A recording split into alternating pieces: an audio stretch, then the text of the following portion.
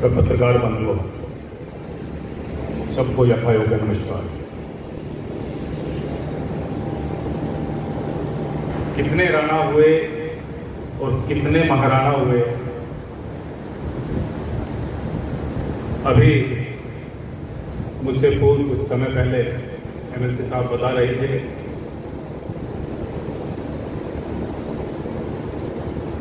कि एक इंग्रेज ने इतिहास के बारे में जब वर्णन किया तो उसने कहा कि अगर राजपूतों का इतिहास इस पुस्तक से निकाल दिया जाए तो इतिहास नहीं बचता। लेकिन उन सभी राणाओं में महाराणा तो सर्वोपरि है। यह विचार विचारणीय है। माता जयवंती बाई के इस तरीके से घड़ा महाराणा को इस तरीके से गढ़ा उस राणा को, उस बालक को कि वो महाराणा बने। जिसने मातृभूमि से प्रेम किया, मातृभूमि की माटी से, मातृभूमि के वृक्ष से, मातृभूमि के प्रत्येक जीव जंतु से जिसने प्रेम किया, वो महाराणा बने। और आज महाराणा प्रताप जयंती मनाई जाए। और एक समाज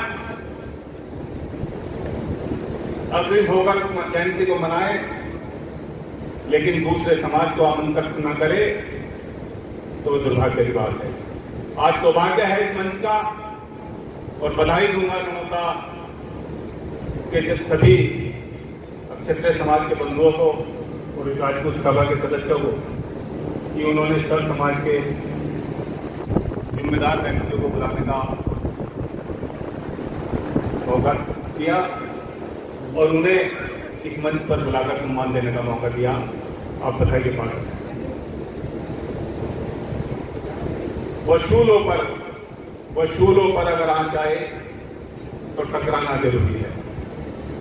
वसूलों पर अगर आँच आए तो टकराना ज़रूरी है। अगर ज़िंदा हो तो ज़िंदा नज़र आना ज़रूरी है। मेरे समाज में महाराणा प्रताप का इतिहास पढ़ा, लेकिन सोने का काम नहीं कहीं ना कहीं समाज के साथ साथ देश को नुकसान हुआ। एक भक्ति में डूबने का काम किया। और साथियों नौनौता वाशी सबसे पहले बधाई के पात्र हैं कि आपने इस सरजमी से उस अंधभक्ति को धोने का काम किया। ये राजनीतिक मंच नहीं है, लेकिन हम महाराणा प्रताप के वंशज हैं। सब उनके अनुयायी हैं, सब उनको आदर्श मानते हैं। तो फिर हम भक्ति क्यों? प्रत्येक व्यक्ति का धर्म बनता है, प्रत्येक व्यक्ति का कर्तव्य बनता है। जो समाज में, अगर जो राजपूत समाज में जन्म लिया है तो जन्म के साथ साथ अपना कर्म में भी राजपूती अपनाए। मैं प्रत्येक जहाँ राजपूत सम्मेलन होते हैं, मैं कहता हूँ कि राजपूत की परिभाषा सीख लो भाइयों। केवल माँ के पेट से जन्म लेने के बाद राजपूत बनना, रहना, वो सौभाग्य की बात नहीं। महाराणा राजा थे, उनकी स्टेज उनके पास थी लेकिन स्वाभिमान के लिए, सम्मान के लिए उन्होंने वो जंगल में घास की रोटी खाना पसंद किया।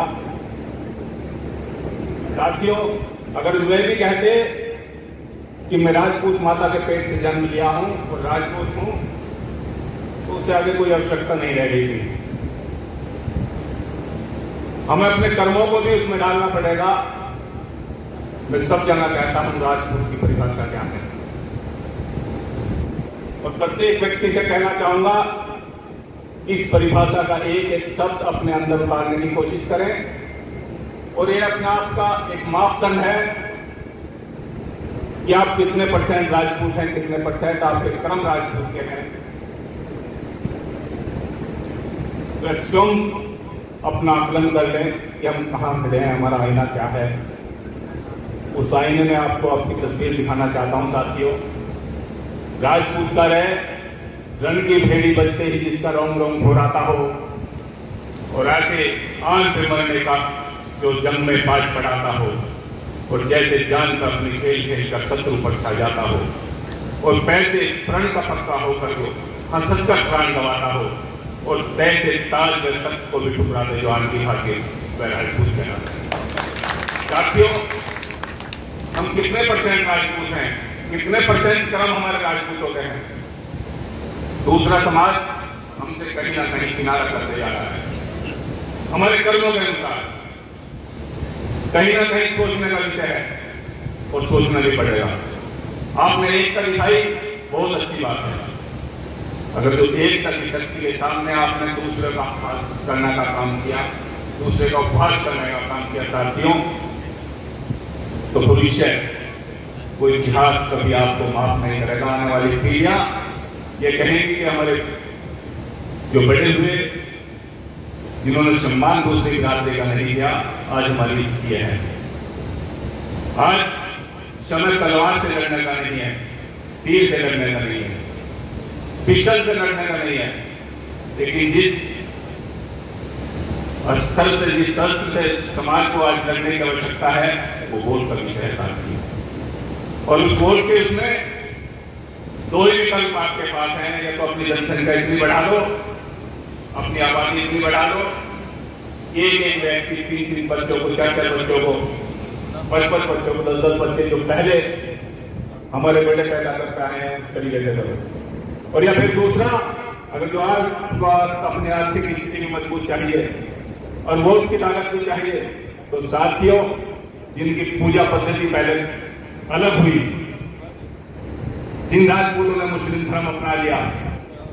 साथियों उन्हें भी अपने साथ मिलाना पड़ेगा। उन्हें भी अपने साथ मिलाना पड़ेगा दलित भाइयों को, जिन्होंने आप में सेवा भाव देखा। उन भाइयों को भी अपने साथ मिलाना पड़ेगा, जिन ब्राह्मणों ने हमें अगर पत्थर को कहा तो हमने पत्थर को पूछ दिया। हमें पीपल को कहा तो हमने पीपल को पूछ दिया। हमें देवताओं को कहा कि चार ईट रखने के बाद में देवता है तुम्हारे? इनको पूछना पड़ेगा, हमने उसको पूछने का काम किया साथी। जब उनको सम्मान देते हैं तो उनको भी खिलाना पड़ेगा साथी। महाराणा प्रताप के साथ में हमर शाह, महाराणा प्रताप के साथ में भेद। किस राजा ने राज साथ दिया महाराणा प्रताप का? यह विचारणीय विषय है। साथियों, अगर जो मैं अपने सम्मान को, अपने स्वाभिमान को अपने समाज को ज़िंदा रखना है तो उसके साथ साथ हमें सब समाज को साथ लेकर चलना पड़ेगा, उनका